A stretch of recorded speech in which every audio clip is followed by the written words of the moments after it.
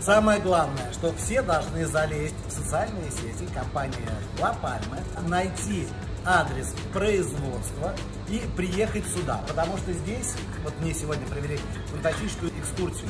Я посмотрел, как посуда делается. Вся она делается руками. Как она лепится, как она формуется, как ей придается текстура, рисунок, орнамент, как она красится, как она сжигается, как создается вот такой вот потрясающий красивый ассортимент. А я знаю компанию давно, и для меня это всегда была просто качественная посуда из э, каменной керамики. Надо приехать обязательно сюда на производство, что все это ну, действительно произведение искусства. А настоящие художники сидят, работают. Все это вдохновило меня на то, что мы вместе сделаем потрясающую коллекцию. Обязательно следите за социальными сетями La э, за моими. Буду делиться э, тонкостями процесса, как все движется, когда все будет, ну и когда начнем собирать предзаказы.